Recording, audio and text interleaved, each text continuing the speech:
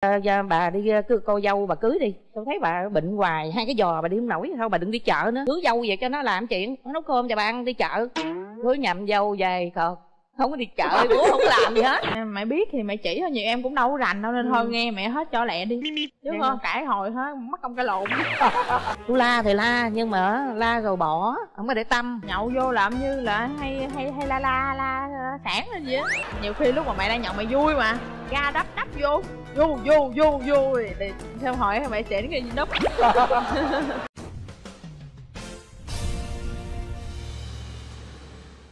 mình tên là yến năm nay ta 58 tuổi hiện đang ở hóc môn bà điểm. Dạ. 18 tuổi mà trẻ quá nha. Dạ thưa Dạ. chị với thì em ờ, chào ờ, anh Quyền Linh chào chị Lê Lộc. Em là Đào Thị Mỹ Linh năm nay em 23 tuổi. Hiện tại em đang kinh doanh mỹ phẩm với lại uh, BC3 và có một bé 9 tháng. Wow. Em làm dâu bao nhiêu năm rồi? Dạ em làm dâu được 2 năm. Tức là 21 tuổi lấy chồng dạ. Trời trẻ lấy chồng sớm quá hả Hả? cái ngày đầu tiên mà gặp con dâu còn quá trẻ này thì ờ, mình cảm nhận thế nào hả cô? Đây là coi như là sự bất ngờ.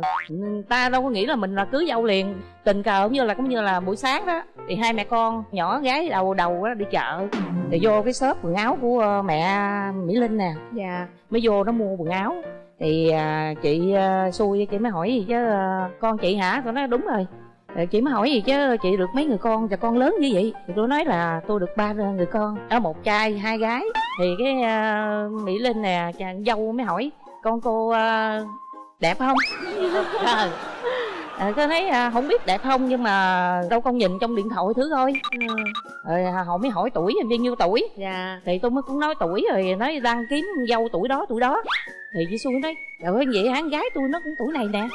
Đó tôi nói vậy được à cái nó hỏi thì, à, bây giờ giờ cô cho con á là zalo. Con lên đó con nhìn cho nó hai đứa mày cà, nói chuyện. nói chuyện qua lại đi Dạ. tâm sự. dạ. Xong rồi hai đứa nó nó qua lại nói nói chuyện qua lại thì mỹ linh nói à cô cô con trai của cô nói chuyện ờ, không ăn ý với con. Thì kìa thằng kia thì nó nói mẹ mẹ nhỏ này nó nói chuyện ờ, không không được. Nghe không êm à, tôi mới nhắn tin với ờ, bé này. Dạ. Nó nói vậy à, con à mình là gái mình nói chuyện muốn quen một người nào đó phải mềm mỏng nói chuyện nhỏ nhẹ dễ thương.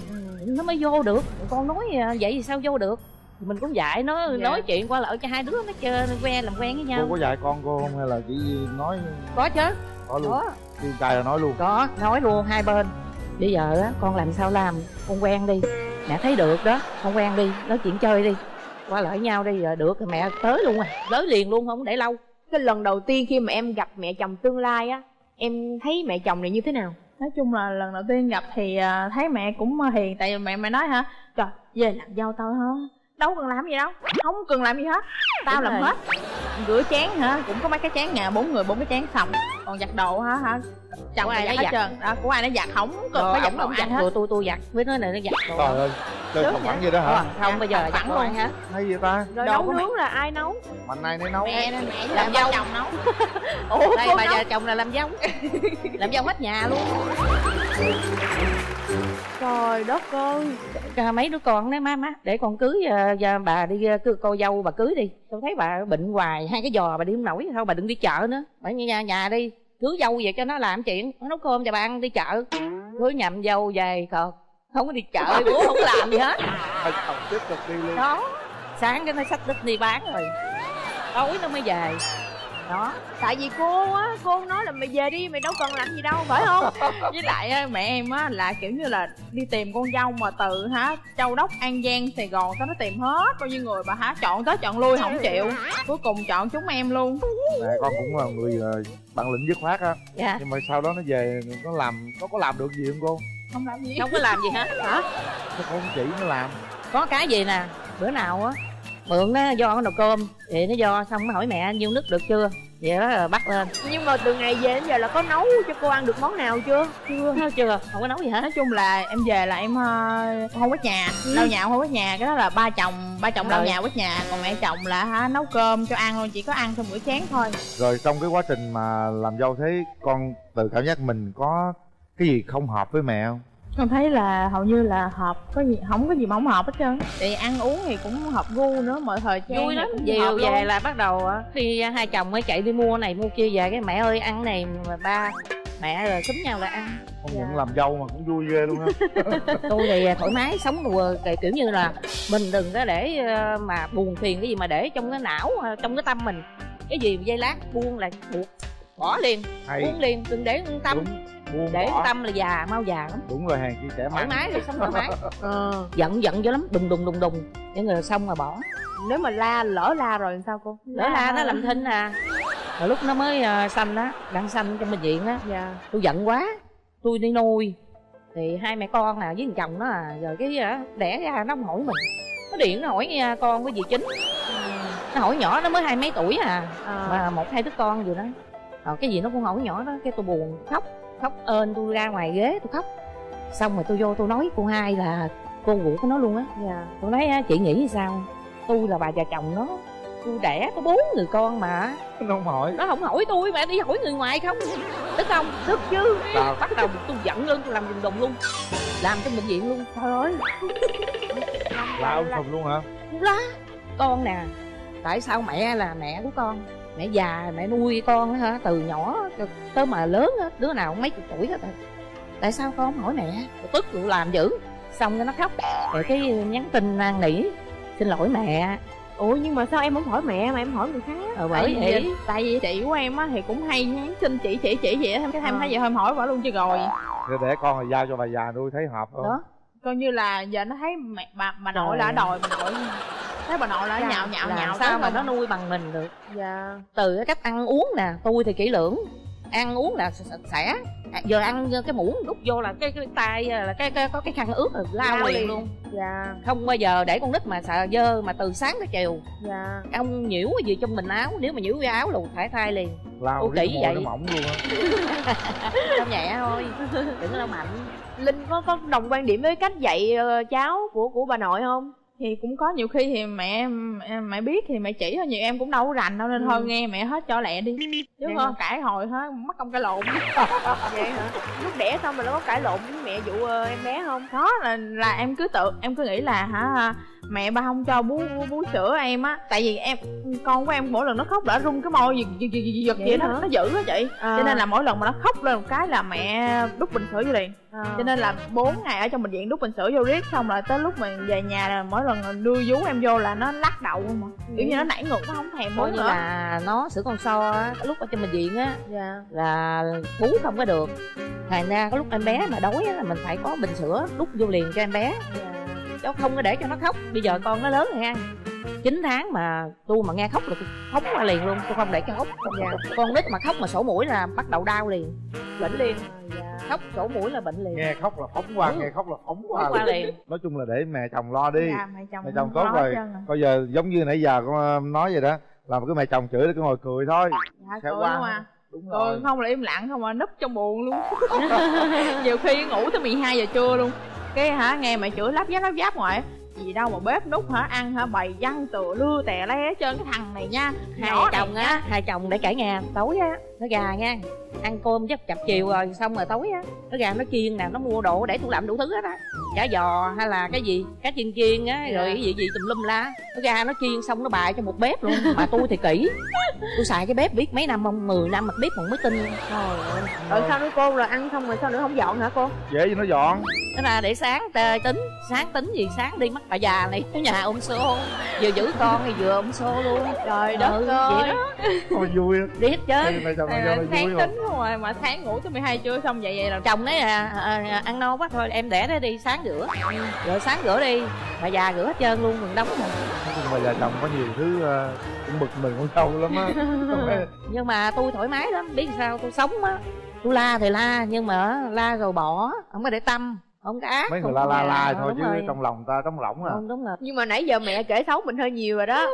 Mình có cái gì mình ghim mẹ không? Mẹ Ghim có mẹ tật hả? xấu gì không mẹ là hay nhậu. À, đó. Gọi là chùm nhậu luôn. Ồ nhậu Nhậu nhậu là- nhậu dai. Nhậu với con cháu Con nhà, nhà, nhà. chứ không có nhậu với ngoài đường rồi tối rồi hai mẹ mẹ con nhậu nhậu. hả? Ờ. không Nhậu có quậy nhậu- không? có luôn nhậu vô làm như là hay hay hay la la la sản lên gì á. La la vậy la tụi này gầy la nói thôi. Em thấy vậy em nút vô cho buồn tiếp gầy la thôi không có gì hết. Chị mỗi lần mà mẹ chồng nhậu thì cứ trốn vô buồn đi rồi tính sao. Dạ đúng rồi. Nhiều khi lúc mà mẹ đang nhậu mẹ vui mà. Ga đắp đắp vô. Vô vô vô vô. Thì theo hỏi mẹ sẽ đến cái đắp? Có hai chồng cãi nhau trước mặt mẹ chồng mình không có có mấy lần hay cãi mà cãi, cãi mà ngồi làm quà coi ngồi làm quà 5 phút sau làm quà liền mau lắm. Không bao giờ mà giận giận lâu hơn 5 phút. Cãi qua cái lợn chút xíu hai chồng cần hề hề giỡn. 5 phút sau là ông dụ mình vô à. Dụ vô đâu? Dụ vô buồn là không bao giờ giận được. Dễ thương mà. Không bao giờ giận lâu rồi không mà từ mẹ chồng cho tới chồng cũng dễ thương nữa. Dạ. dạ. trong gia đình bao giờ cũng có những cái tiếng cười như thế. Ha rồi để xem coi uh, chồng của em sẽ nói điều gì nha À, chào anh Quyền Linh, chào chị Lê Lộc, chào mẹ, chào vợ và chào quý vị khán giả đang xem chương trình Mẹ chồng nàng dâu. À, được biết là mẹ và vợ tham gia cái chương trình à, Mẹ chồng nàng dâu thì à, con cũng có đôi lời muốn gửi tới à, mẹ và vợ là trong khoảng cái thời gian mà vợ con về làm dâu á thì cho tới cái thời điểm mà vợ con đang mang bầu thì mọi thứ nó rất là đều ok nên là con cũng gì để nói nhưng mà sau khoảng thời gian mà vợ con bắt đầu đẻ ờ, bé Harry rồi á, thì nó lại có nhiều cái mâu thuẫn xảy ra giữa giữa giữa vợ chồng con với lại mẹ. Thì ờ, đôi khi là cái cách mà chăm sóc của ờ, vợ chồng con với lại cái cách nuôi dạy của mẹ thì, kiểu, giống như là nó không có có có có đồng đều với nhau, đâm ra là đôi khi là có những mâu thuẫn xảy ra đó. Thì á nên là con là đôi khi là cái người đứng ở giữa, con cũng không có biết mà mà làm sao để mà coi như là giải quyết ổn thỏa cho cho cho giữa mẹ và vợ? Để mà cái cuộc chiến mà mà giữa mẹ và vợ nó không có hồi kết. Đó thì con mong là sau cái chương trình này á thì con sẽ uh, mong mẹ và vợ sẽ có những cái cái cái cái uh, sự ờ, thay đổi hòa hợp với nhau và hiểu nhau hơn nhiều hơn nữa. Nên là uh, con chỉ mong vậy thôi dạ rồi cảm ơn trình dễ thương quá.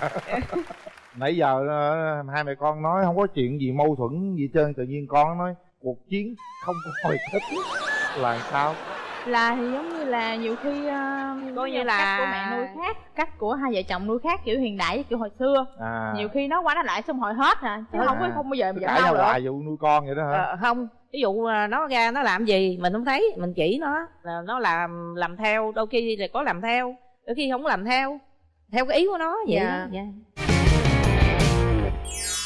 ở với nhau là cũng hai ba năm rồi đúng không đúng rồi dạ. thì ờ, không biết tới thời điểm hiện tại thì có điều gì ở nàng dâu mà khiến cô chưa hài lòng mong muốn cô dâu này thay đổi không muốn uh, con dâu thay đổi là nhắc nhở hoài. Nó bây giờ con á mẹ cũng già ba cũng già rồi con phải học cách tự biết làm những gì những gì.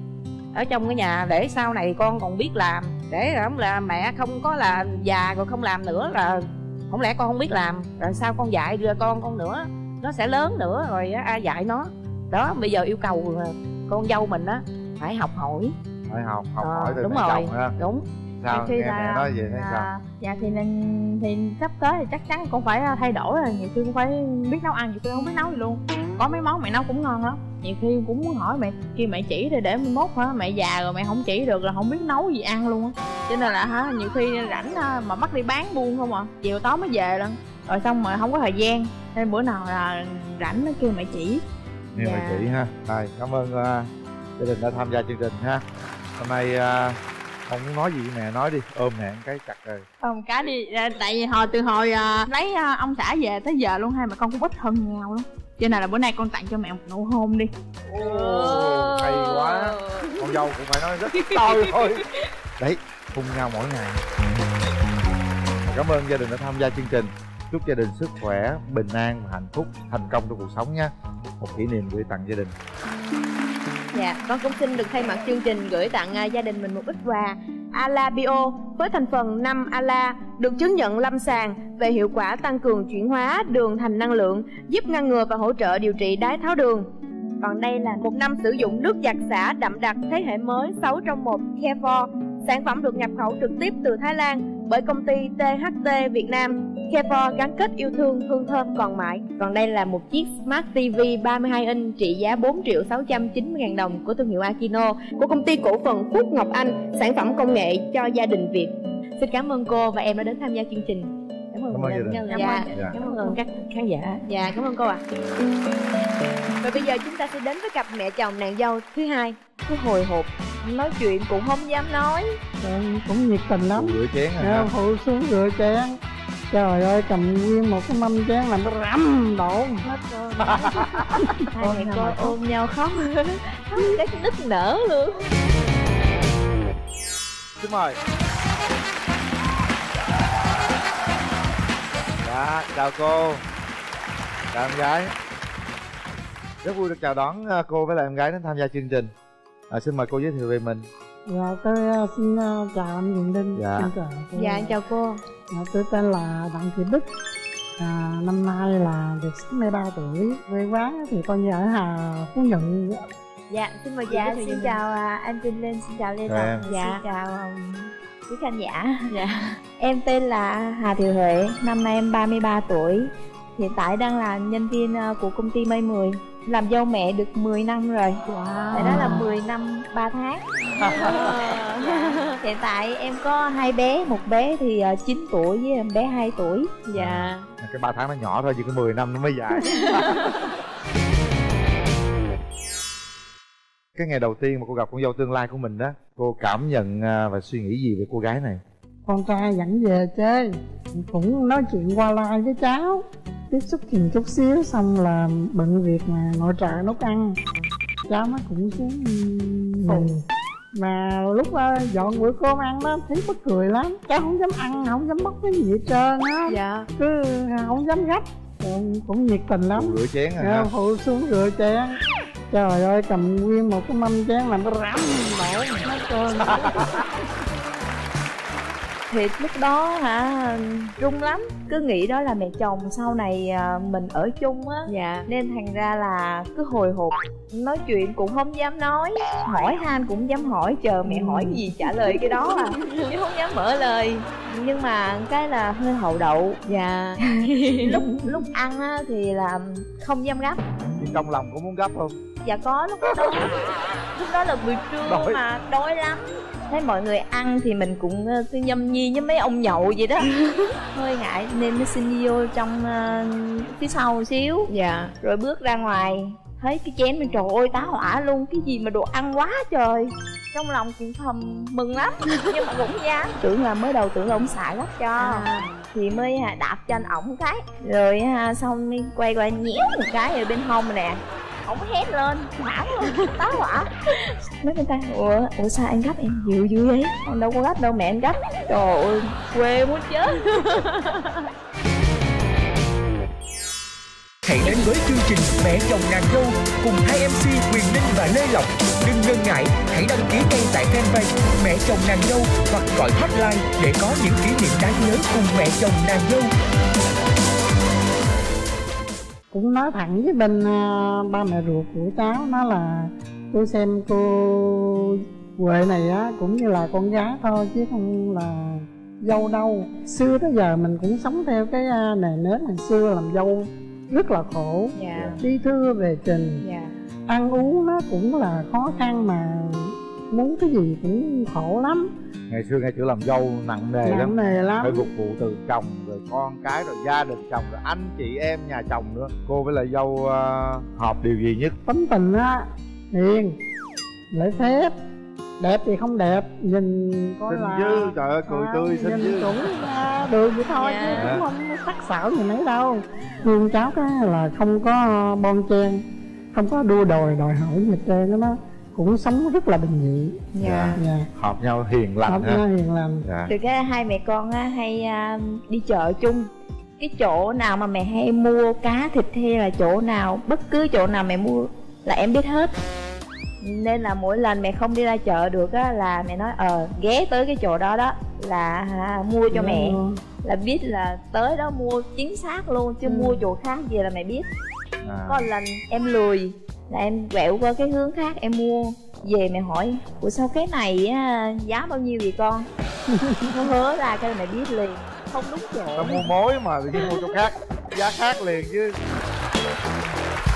hay xem phim chung. À. Mẹ con là coi những cái bộ phim nào mà đã ghiền rồi là coi cho bằng hết. Chiếu lại nhưng mà mẹ con chưa coi được á thì hay lên ờ mày lấy cái điện thoại mày ra mày mở tao coi tao ghiền quá rồi. À, lúc coi phim á thì à, im lặng coi phim. Còn mẹ hả cứ nói kể kể cái bộ phim đó. Trong khi đó là con dâu mình cũng coi chung cứ kể mặc dù là à, mình, mình cũng coi hiểu. chung. hả có cái vấn đề nào mà khiến hai mẹ con mình chia ra hai phe không cái đó có.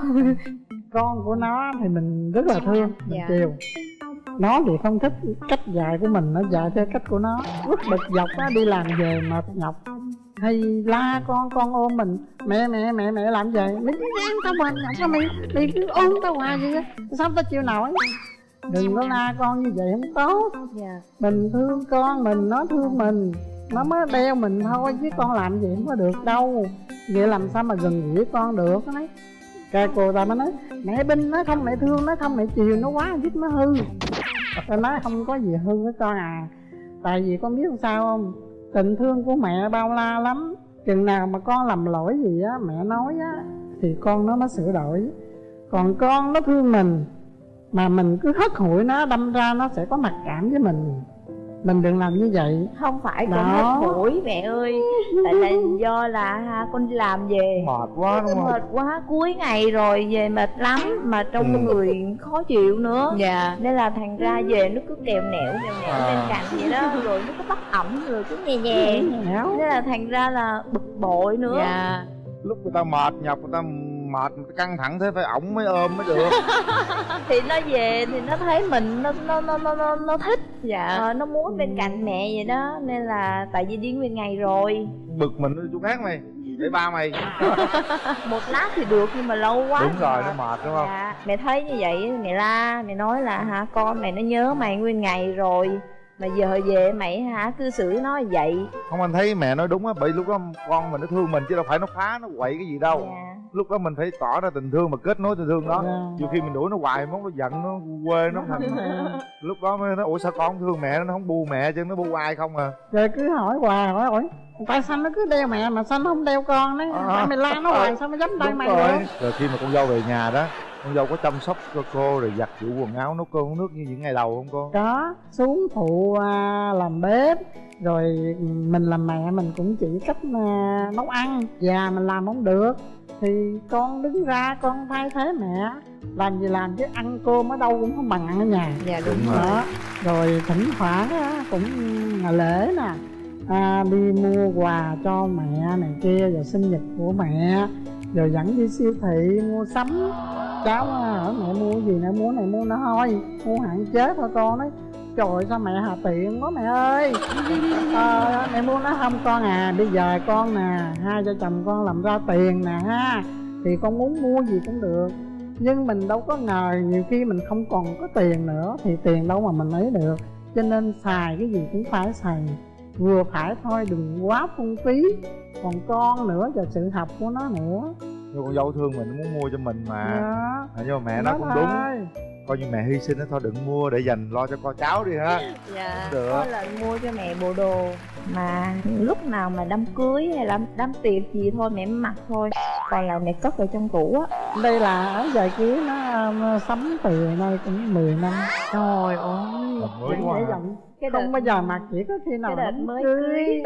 Ai là thân thuộc trong gia đình thì mình mới dám mặc thôi. Ngoài ra cứ cất để dành đó. Trời ơi mà Trời 10 năm rồi cô vẫn mặc vừa Đó. bây giờ mặc hơi rộng. Ngay mặc rộng xưa hồi đó lắm mẹ bây giờ hồi đó mẹ mập tròn dễ thương lắm. lắm lúc trước là tới à, sáu mươi mấy ký đó. Dạ. bây giờ mình lớn tuổi rồi. Giữ 10 năm mà được vậy hay á. Chứ lộc nó mặc chừng mấy tháng là có áo dài mình mặc rồi.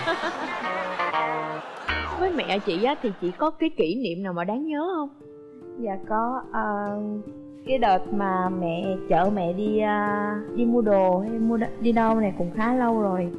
Ừm, hai mẹ con bị à, một cái tai nạn hết mẹ té mẹ luôn. té. trời ơi. Rồi ngã lăn đùng ra em thì không sao hết mà mẹ bị cái chân.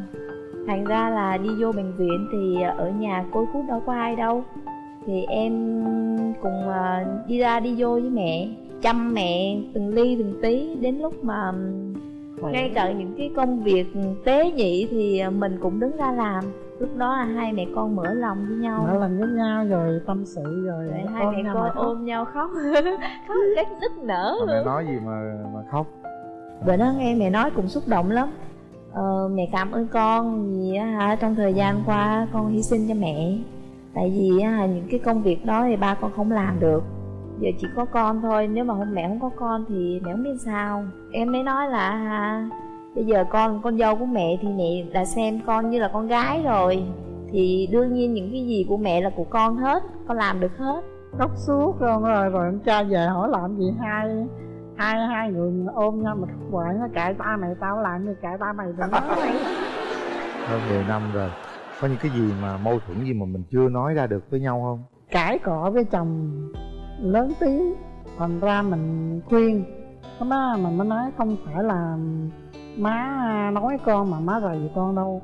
Má muốn con như nè, vợ chồng mà có giận nhau á, thì mình nên vào nhà mình nói chuyện, chứ không phải là mới đi làm về, nó cũng mệt giờ con cũng mệt.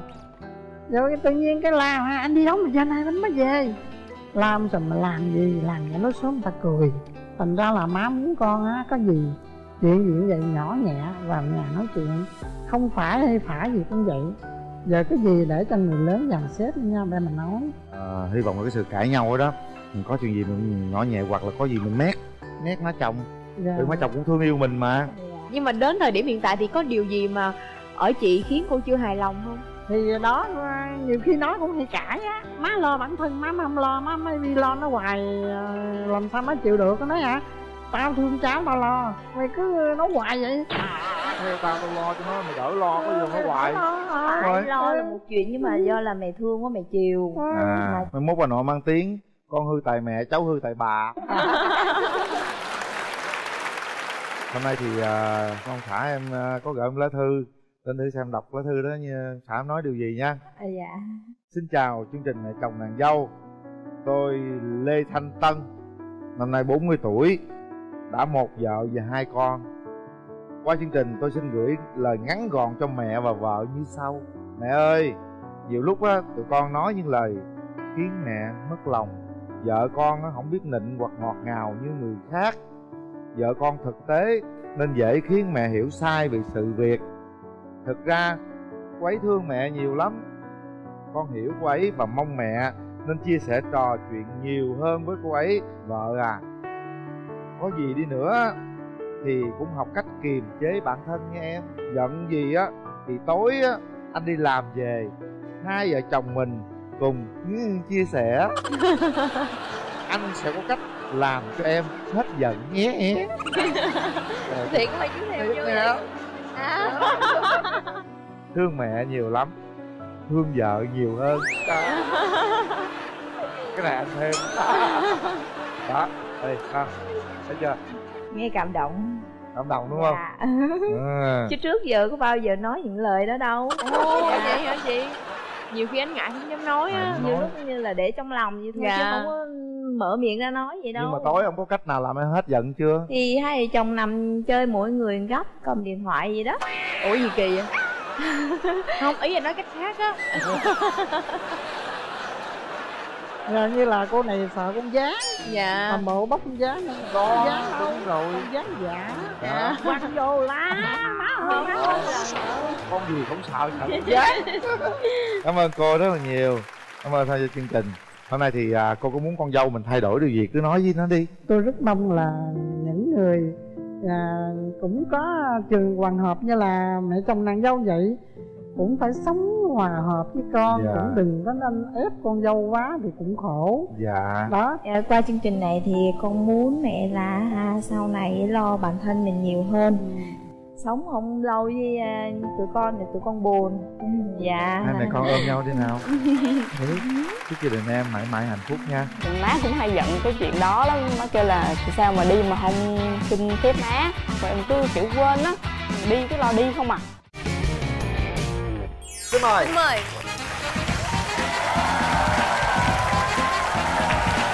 Chào cô. Chào cô. Chào em. Chào chị. Mời cô ngồi. Mời chị ngồi. Mẹ chồng nàng dâu rất vui mừng được à, đón à, mẹ chồng với nàng dâu đến đây. Ha, hôm nay chúng ta à, xem như một buổi trò chuyện đi. Thoải mái lên mời cô giới thiệu về mình. Tôi xin chào um, MC Lê Lộc, à, Quỳnh Linh. Dạ. À, tôi tên là Vũ Thị Thanh Huyền, à, ở Tràng Bom, Đồng Nai. Hôm nay tôi um, 43 tuổi, à, tôi buôn bán. Xin chào chú Huyền Linh, chào Lê Lộc, à, chào tất cả quý vị khán giả. Em tên là Lê Ngọc Huyền Vân. Năm nay thì em được 22 tuổi rồi. Em thì hiện tại bây giờ vẫn ở nhà chăm em bé. Em đang có một em bé được 10 tháng rồi. Em về làm dâu của mẹ là được gần 3 năm rồi. ba năm một cái chặng đường à, cũng à, cũng khá dài đó ha chắc chắn nó có cũng có nhiều cái à, gọi là trục trặc à, của giữa mẹ chồng và nàng dâu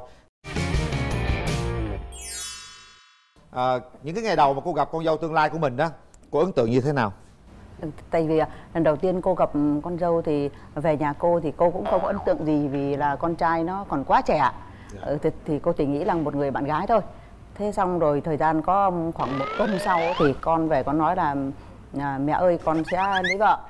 Thế rồi tôi nghĩ là sao con mình mới có 20 tuổi? Đấy, lấy vợ mà còn đang đi học nữa.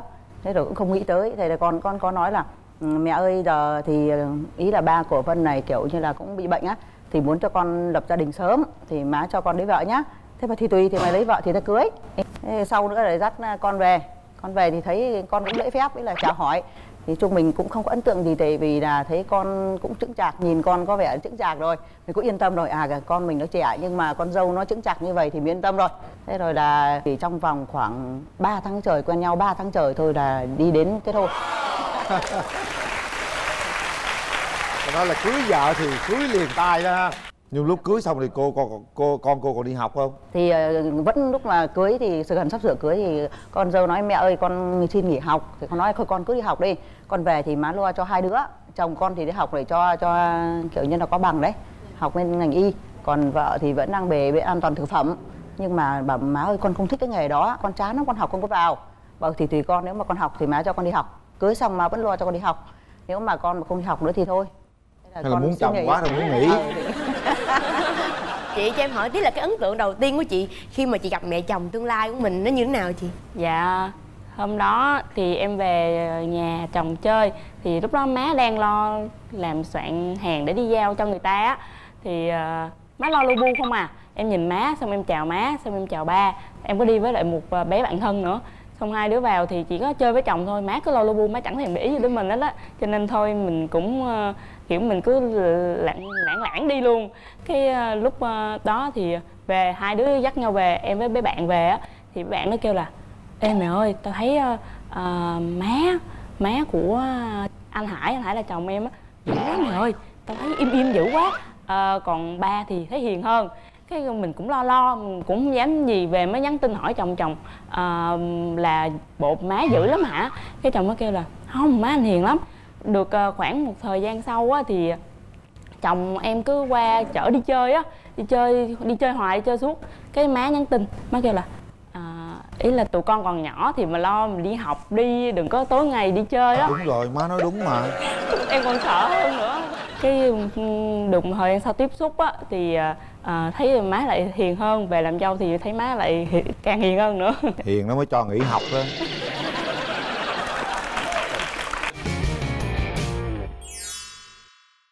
à, cái chuyện mà cưới sớm như vậy đó rồi à, gia đình mình có chuẩn bị gì hết cho con cái không? Thì nói chung là cũng lúc đấy là năm trước thì cũng mới lo cho anh cả nó là năm trước. Cái rồi năm sau rồi hai vợ chồng nó à, đòi cưới thì cũng cũng lo lắng. Đi thật sự nó lo lắng. Nghĩ hai đứa mà ở chung ấy thì tại vì chồng này thì người ta cứ nói là thôi thì cái mạng hỏa má ơi mạng hỏa con không ở gần má được đâu. Thì thấy nghĩ là chắc nó không muốn ở gần mình là chồng nó. Thế rồi nói giờ không biết sao cho giờ nó cưới con này còn tranh thủ còn làng sàng làng sàng còn đi kìm tìm nhà. Tìm nhà giờ xây là không có kịp nữa rồi là tìm nhà để mình mua cho con. Để tranh thủ, thế rồi cũng sắp xếp sao rồi mua nhà cửa cho con. Ý là mua nhà thì sát với mẹ. Mẹ cắt cho một cái cửa, thế là làm mà đi ra là thích mở thì ra đi mở. Lâu lâu mẹ mẹ điên bảo tụi mày mà cứ làng sàng làng sàng lười mà không nấu cơm mẹ, tao nấu hoài mà tao già đấy nha. Tao nấu tao mệt là tao đóng cửa lại cái nhà khỏi qua đâu nha. Mẹ nấu từ hồi về giờ là không có bao giờ phải nấu cơm. Lúc nào nấu cơm mà thậm chí mới về là mẹ còn phải nấu cơm, thậm chí vân ơi, vân, ăn cơm đi con. Mời một lần ông ông chồng bảo thế qua gọi bố gọi mẹ thì ăn cơm đi. Gọi hoài gọi hoài. Bê tận cơm lên buồng ấy. Nhưng mà tại vì là cái tính mình hay xót ruột, cứ cái lúc nào cũng chỉ sợ con mình nó đói thôi. Thậm chí bê sẵn sàng lừa lừa lừa. Ông ba mà trốn trốn cái là lừa lừa bê cơm ấy, là để trên cái bàn nó có sắm cho con là cái bàn có hai cái ghế ngồi, hai vợ chồng. Thì để lừa lừa để cơm, để canh. Nào thì để đồ ăn có cái gì để đấy. Xong đậy vào lừa lừa là đi nhẹ nhàng đi xuống. Thế rồi sau bảo là hai mẹ con mới chở nhau đi mới tâm sự, nói là, thôi con ơi sao rồi nhiều khi mẹ nấu chịu khó tụi mày xuống tụi mày bê tụi mày ăn cùng tao cái. Thế rồi ông bà cũng chửi hoài à.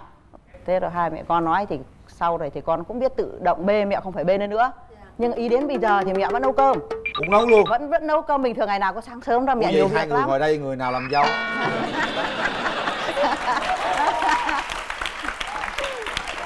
nấu mà bưng ra tới nơi luôn. trời ơi sướng quá rồi sướng luôn rồi trời. Hai người có hợp nhau gì ăn uống không thì, thì ăn thì thấy con thì chắc là cũng không hợp với mình tại vì con là người nam mà mẹ người bắc thì nhưng mà ý là mẹ nấu cái gì thì nó cũng ăn cho mẹ vui lòng vậy thôi. Thì nhiều khi hỏi vân ơi con ăn được không? Và con ăn được. Nhưng mà hôm nay này chú hỏi thiệt nè ăn có được không?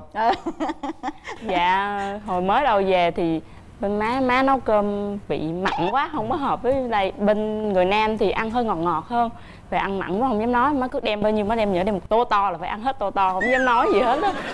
Rồi sau này cái vị thì sao? Rồi nó mặn hơn là mình nó cũng cũng ráng ăn ăn xong uống nước. À, rồi tới giờ cũng cũng cũng vậy luôn. Dạ. Cũng không dám nói luôn. Dạ không. Má cứ nói sao là ăn vậy tại giờ má nấu cho mình ăn rồi mình còn nói nữa. Còn gì nữa. Đúng rồi. Ai ta nấu ta bưng qua tới nơi ăn rồi. Dám chê không gặp con con cũng không dám nói nữa. Ngu gì nói. Thì ngu gì nói ngu nói cho nhịn luôn hả? Hai mẹ con hợp nhau điều gì nhất? Thì nói chung là hai mẹ con thì rất hợp nhau. Hợp nhau ví dụ như là ăn uống hoặc là đi chợ sắm sửa. Rồi cái cách sống nói nói chung là ăn nói mấy mẹ con thì cũng hợp.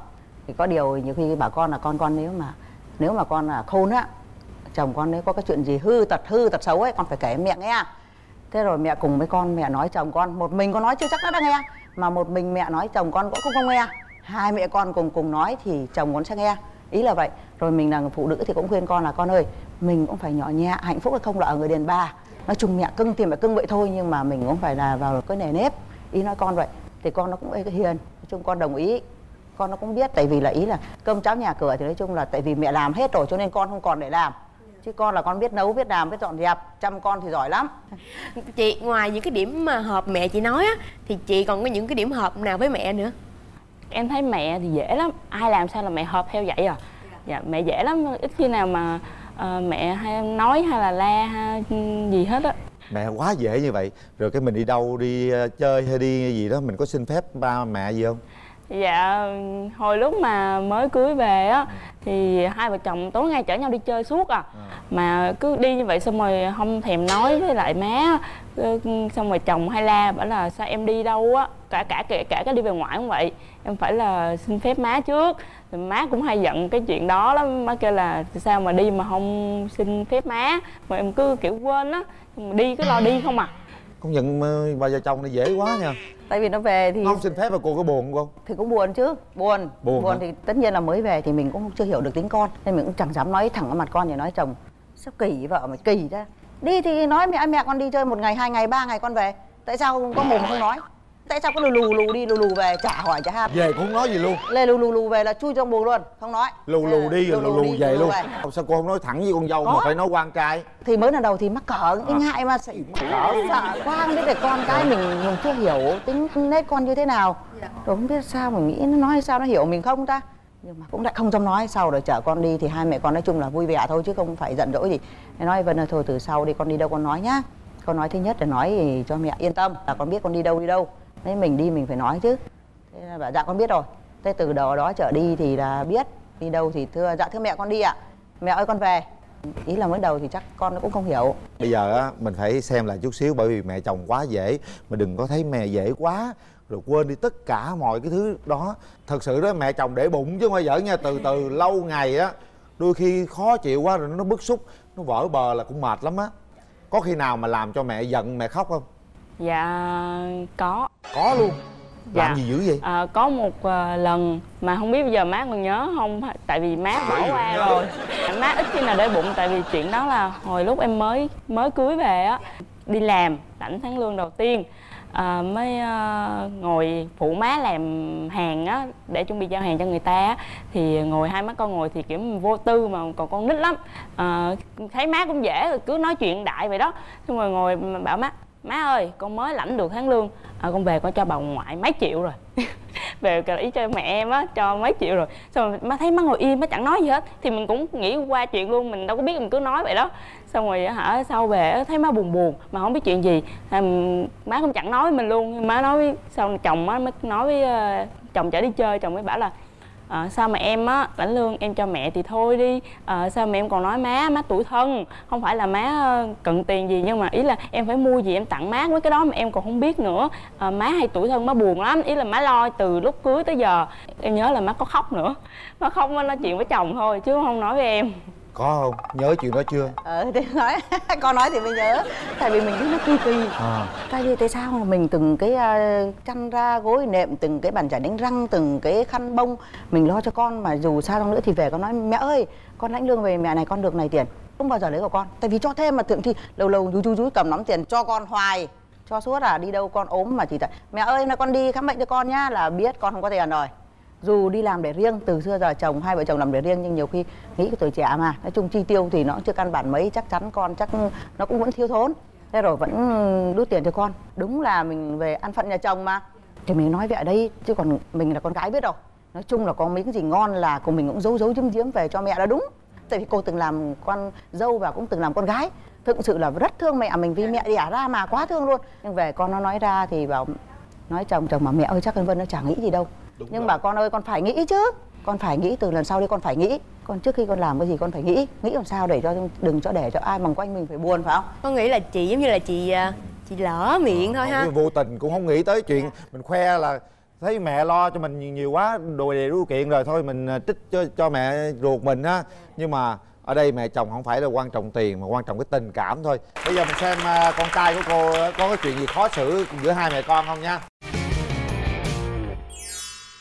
Dạ vâng, hiện tại thì uh, trong uh, gia đình á thì uh, mẹ và em thì có một số cái mà em thấy nó hơi bất đồng á. Ví dụ uh, mẹ công việc đó mẹ muốn vợ em làm á để cho nó quen thì vợ em em qua truyền tải vợ em thì vợ em lại bảo là ủa sao không tự làm đi và bắt em làm. Mà cái công việc đó thì mẹ chỉ muốn nhờ vợ, còn em làm cũng được, đơn giản.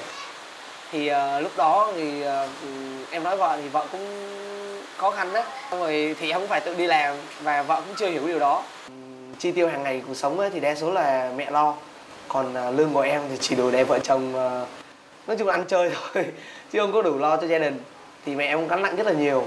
Thì ở đây cũng à, về cái đó thì chắc cũng muốn vợ chi tiêu hợp lý một xíu để cho nó hợp lý hơn bớt gánh nặng hơn cho mẹ. Không biết là mẹ bắt em làm hay là bắt ờ, chồng làm nữa mẹ như mẹ kêu là hãy uh, ờ, qua uh, xịt giùm nước nhà má quét giùm má cái nhà đi. Còn không biết lúc đó là mẹ mẹ nói với lại chồng không biết là mẹ sai chồng hay là sai mình. Thì nói mẹ sai anh thì anh làm đi thì nhưng sai là em. Vợ dễ thương dễ sợ. Coi như sai chồng chồng làm à. Sai em em làm á. Chuyện em em làm chồng chồng làm. Nhưng phân biệt rõ ràng ghê ha. Chị chị cho em hỏi một tí xíu nữa nha cái khó khăn lớn nhất mà chị chưa bao giờ chị dám nói với mẹ mà chị để trong lòng chị á chị chưa bao giờ chị dám nói. Dạ nếu mà hiện tại thì khó khăn thì chỉ có về vấn đề kinh tế thôi. À, hai vợ chồng xài thì uh, kiểu là xài chưa có biết uh, tiết kiệm á xài hơi nhiều rồi chồng em thì hay thích mua sắm mua này mua xe mua kia này nọ xong rồi uh, kiểu uh, xài hoang quá xong rồi không có tiền á xong rồi hả cứ ừ, được cái gì ví dụ là ai cho cái gì hồi đồ cưới á bắt đầu hả không dám xin mẹ là đem bán đi để trả và lấp cái khoảng trống đó mà không dám nói mẹ. Sợ lắm sợ mẹ la là mẹ cứ ý là xài tiền như vậy là mẹ con cho thêm tiền mà cứ sao xài hoang á. Sợ gì nữa giờ bán chắc hết rồi còn gì đâu sợ nữa bán hết chưa? Dạ chưa cũng còn. Cũng còn ít đúng không? Dạ. Nói chứ à, đôi khi à, mình à, cưới con sớm quá đó. Nó còn trẻ quá đó cô. Hy vọng lần sau một cái chặng đường như vậy à, sau những cái cuộc trò chuyện thế này thì à, con hai đứa con nó sẽ rút ra nhiều cái, cái kinh nghiệm hơn nữa và nó có thể à, hoàn thiện hơn nữa để giúp cho mẹ vui hơn nữa đúng không? Bây giờ mình nghe xem con trai của cô nó mong muốn điều gì ở hai mẹ con. Hiện tại thì à, em mong muốn là dưới vợ mẹ thì à, sau này gắn bó hơn nè, đoàn kết hơn uh, giữa hai người thì sẽ đi đến một điểm chung duy nhất là để sau này còn sống đời với nhau mà. Nên uh, để mẹ con vui vẻ hài đồng để mẹ sống lâu hơn một xíu thì con dâu nên uh, chăm chú nhiều hơn về cái sự quan tâm với- mình với mẹ. Ngoài ra thì uh, hay hỏi em rồi uh, có thể là chăm sóc mẹ chu đáo hơn hiện tại. Em uh, muốn mẹ thì uh, có thể là cũng có tuổi rồi nên mẹ hay ờ, càu nhàu nhưng mà m- mong mẹ thì nói uh, nhỏ nhẹ với lại ờ, mẹ hay quên đó thì ờ, mong mẹ ờ, khi nào mà gặp vấn đề nào cảm thấy không vui hoặc buồn thì nói luôn. Nhiều khi mẹ hay dồn một lần nói một lần đó thì ờ, nó lên cao trào cảm xúc nó nó cao quá mẹ buồn hơn. Dạ. Thì em nghĩ mẹ nên giải quyết một ờ, những cái việc nhỏ để không thành những việc lớn. Ý là mẹ hay góp tội. À. nói chung là không có nói là tặt nhiều lời. Khi nào ngồi lại bắt đầu mới Dạ. nói ừ. sao cô không Góp- góp giống như tội, con dạ, cô nó đó cứ có chuyện gì cứ nói luôn nha nói nhiều nó bảo mình nói nhiều quá. Nó bảo mẹ nói nhiều lắm mồm mẹ lắm mồm quá. Nãy mình thì sao? Nãy chồng nói đó là hình như là mình thiếu quan tâm đến mẹ chồng đúng không? Dạ tại em cũng ngại á. Sợ mẹ kêu là à, làm bộ. Sợ ngại á bởi vậy À, ít dạ. lắm. Qua cái cuộc à, trò chuyện ngày hôm nay chúng ta vỡ lẽ ra rất nhiều cái vấn đề. À, bắt đầu từ ngày hôm nay thì à, à, mẹ con có thể à, chia sẻ nhau nhiều hơn ha thôi bây giờ à, mình đứng lên mình hứa với nhau chút xíu đi. À, em muốn điều gì à, hứa với mẹ điều gì đó? Dạ mẹ thì giờ tuyệt vời quá rồi. Ừ. à, em chỉ muốn là mẹ là giữ gìn sức khỏe đừng có lao động nặng nữa. Rồi em hứa với mẹ đi. Hứa gì đi? Dạ con hứa với mẹ thì à, từ nay con sẽ à, quan tâm mẹ hơn à, sẽ không làm việc gì để mẹ buồn nữa? Nấu cơm nấu cơm giặt đồ. Nói đi. Dạ cái đó thì ừm, con sẽ cố gắng học và thêm nhiều món nữa để nấu cho mẹ ăn. Mẹ có muốn à, nói gì với con dâu không? Không, mẹ chỉ nói là ý là mình là người một phụ nữ và một người là đàn bà thì mình phải đảm đang về cái chuyện nhà. Cho nên thứ nhất là mẹ thì mẹ không cần con phải phụ giúp với mẹ nhưng mà sau này mình còn lo cho gia đình cho chồng cho con mình nữa. Mẹ chỉ mong điều đó nhé thời hai mẹ con ôm chặt nhau thế nào?